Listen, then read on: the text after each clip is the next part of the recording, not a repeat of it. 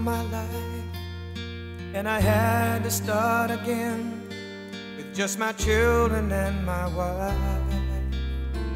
I thank my lucky stars to be living here today, cause the flag still stands for freedom, and they can't take